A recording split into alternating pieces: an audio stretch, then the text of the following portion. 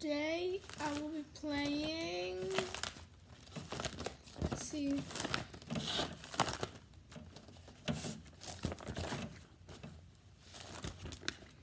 Seven years.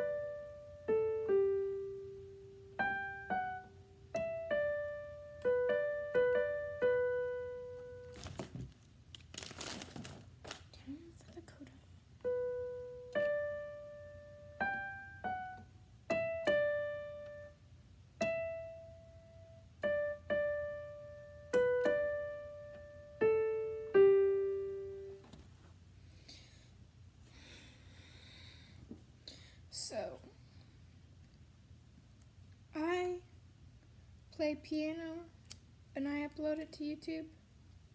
Because I want to document my journey as a new pianist.